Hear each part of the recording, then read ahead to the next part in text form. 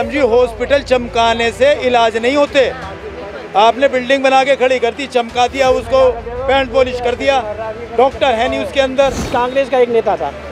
उसके खिलाफ में शराब का व्यापारी था नेता था। उसके खिलाफ कितने पैसे पकड़े गए? मशीन बुलाई थी। वो घोटाला था। अब इनके खिलाफ में कितनी मशीनें बुलाई गई हैं कितने घोटाला हुए हैं? नोटों की गिनती कितनी हुआ है? कि आदमी घर से बाहर निकला कि काम पे जा रहा है। औरत पहले निकल जाती है उसके बाद ही पाँच मिनट बाद औरत बाहर निकल जाएगी। क्या आएगा? शाम को उससे पहले आ जाऊँगी। पैसा आने का ना जाने का। अब ना कहीं भी जाऊँ कहीं भी आऊँ। पहले आती थी जाती थी तब पूछ के जाती थी। मुझे मतलब बस फ्री से दिक्कत है। तो बस फ्री से भी है दिक्कत। हर चीज़ से दिक्कत है।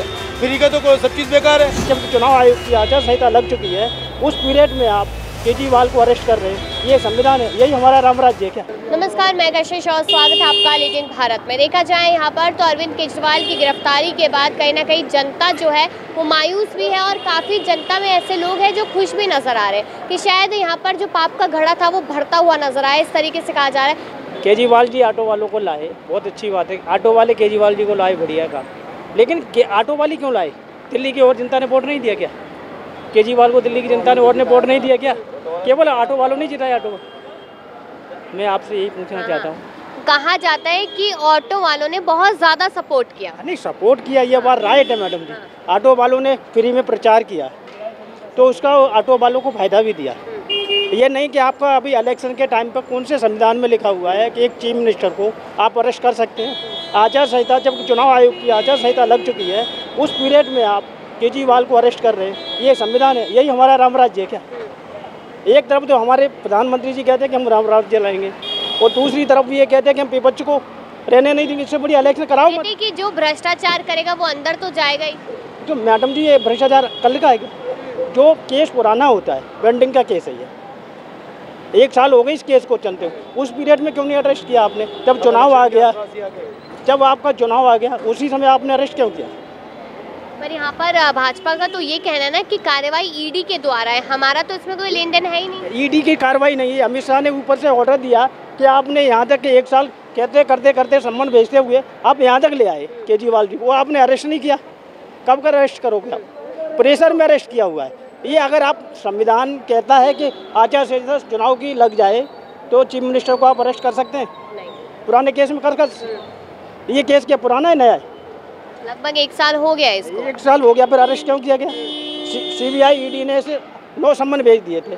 नौ सम्मन पे कोर्ट में गया। कोर्ट ने 22 अप्रैल का टाइम दिया था। 22 अप्रैल का टाइम देने के बाद में भी अरेस्ट करते लेकिन यही कहा जा रहा है ना कि नौ समन के पहला दूसरा तीसरा चौथे पे भी चले जाते तो शायद ये घड़ी नहीं आती।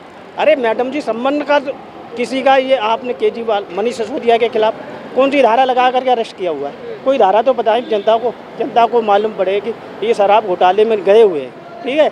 इस इसमें ये ये धारा लगा करके हमने अरेस्ट किया हुआ इतना इनके पास धन हुआ है। धन एकत्र ये पाया हुआ है। जो धन एकत्र पाया है उसका धन का तो खुलासा तो करना चाहिए जनता में कि इनके पास में मंत्री के पास इत, इतने हज़ार करोड़ घोटाला हुआ ये पैसे पकड़े गए। जैसे अभी कांग्रेस का एक नेता था उसके खिलाफ में शराब का व्यापारी था नेता था उसके खिलाफ कितने पैसे पकड़े गए? मशीन बुलाई थी। वो घोटाला था। अब इनके खिलाफ में कितनी मशीनें बुलाई गई हैं कितने घोटाला हुए हैं नोटों की गिनती कितनी हुआ है ये जनता को बताना चाहिए। तीन सौ अड़तीस करोड़ बताया जाता है कितने का घपला यहाँ पर हुआ है उन्नीस सौ कुछ करोड़ों का बताया दो दिन में हुआ है घोटाला क्या? जैसे अभी आपका रूस का कि आप कह रहे हैं कि एक साल से यहाँ पर क्यों नहीं गिरफ़्तार किया गया? धीरे धीरे करके जैसे जैसे फाइलें खुलती जाएगी तभी तो करेंगे। अरे मैडम जी ये फ़ाइल क्या इलेक्शन के पीरियड में आचार संहिता लगती है कि नहीं? संविधान क्या कहता है? घोटाला तीन सौ से पहले नहीं गिरफ़्तार हो रहा था नहीं बाद में भी तो नहीं संविधान क्या कहता है कि आचार की जैसे आपका रूस का था अभी प्रेसिडेंट हुआ रूस का उसने विपक्ष में जाकर के सारों को मार दिया। अब विपक्ष खत्म कर दिया तो वो तो जीतेगा ही सारे जेल में। यही आपके इंडिया में होने वाला है।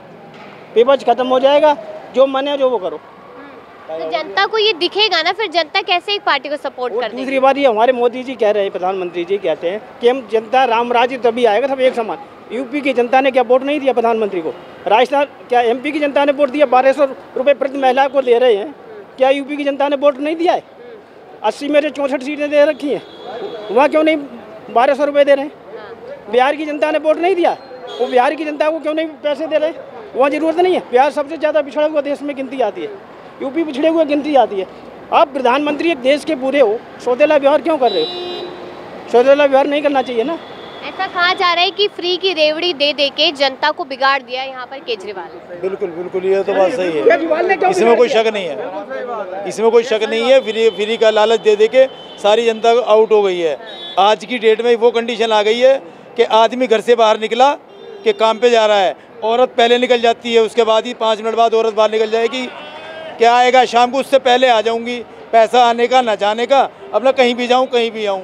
पहले आती थी जाती थी तब पूछ के जाती थी। मुझे इतना बस फ्री से दिक्कत है। तो बस फ्री से भी है दिक्कत। हर चीज़ से दिक्कत है। फ्री का तो सब चीज़ बेकार है। तो ऐसा क्या कहा जा रहा है कि जो केजरीवाल है? गरीब आदमी को सुविधा कौन चीज़ मिल रही है बताओ। काम गिनवा देते केजरीवाल भी। मैडम जी हॉस्पिटल चमकाने से इलाज नहीं होते। आपने बिल्डिंग बना के खड़ी कर दी चमका दिया उसको पेंट पॉलिश कर दिया। डॉक्टर है नहीं उसके अंदर। ओला उबर चला दिया। ओला उबर चलाने से अब बाहर सवारी आती नहीं है। कोई भी सवारी नहीं आती है। ओला उबर सारी रैपिडो सवारी लेके चली जाती है। मतलब रोज़गार क- में कहीं ना कहीं परेशान रोज़गार बहुत कम कर दिया। है ही नहीं रोज़गार। रोज़गार तो खत्म कर दिया युवाओं को मार रहे बाइक वालों को सबको चला रखी है भाई। बाइक भी चल रही है।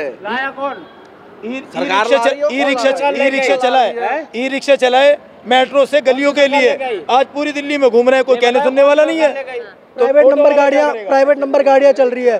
बाइक प्राइवेट नंबर गाड़ियाँ जाके अब सवारियाँ लेके जा रही है। कमर्शियल नंबर गाड़ियाँ क्या करेगी? हम इतने इतने पैसों में पासिंग करवा रहे हैं गाड़ियों की ये करवा रहे हैं। तो वो सारा पैसा कहाँ जा रहा है? अब प्राइवेट अब देखिए ना कि अरविंद केजरीवाल तो लगातार यही कहते हैं कि उन्होंने स्कूल बनवा दिए हैं यहाँ पर मोहल्ला क्लिनिक खुलवा दिए महिलाओं को सुरक्षा दे दी उनके लिए तो यही बहुत है। मैम स्कूल जायज़ है आपकी बात स्कूल और कॉलेजों के लिए सुविधा है मान लिया। तो अब महिलाओं के लिए बस फ्री कर रखी है स्कूल के बच्चों के लिए कहाँ लड़कों के लिए कहाँ कर रखी है फ्री? ये भी तो बात है सही जायज़ स्कूल के बच्चों के पास कौन सा पैसे होते हैं? लड़कियों के पास फ्री सेवा चलो ठीक है लड़कियाँ फ्री लड़के कहाँ जाएँगे? लड़के भी तो चाहिए लड़के भी तो स्कूल पढ़ रहे हैं कॉलेज पढ़ रहे हैं। ये गिरफ्तारी जो हुई है केजरीवाल जी की उससे क्या माहौल क्या लग रहा है अब देश में क्या होने वाला है? माहौल क्या माहौल जो सबके साथ है उनके साथ भी है बहुत पहले हो जाना चाहिए था बोलो ना। बहुत पहले हो जाना चाहिए था काम हुआ। मगर ये 300 करोड़ साढ़े तीन सौ करोड़ जो लेके आए ना मोदी जी ये गलत है। ये पहले ही कर देना चाहिए था इतनी नौबत ही नहीं आती। यहाँ पर ऑटो ड्राइवर्स बड़े परेशान नज़र आते हैं क्योंकि देखा जाए कि कहीं ना कहीं इन लोगों ने ही सपोर्ट करके केजरीवाल केजरीवाल को सत्ता में लेकर आए थे, लेकिन अब यहाँ पर कितने ज़्यादा दुख में है वो साफ़ नज़र आ रहा है। अपनी राय दीजिएगा इस मुद्दे पर और देखते रहे लीडिंग भारत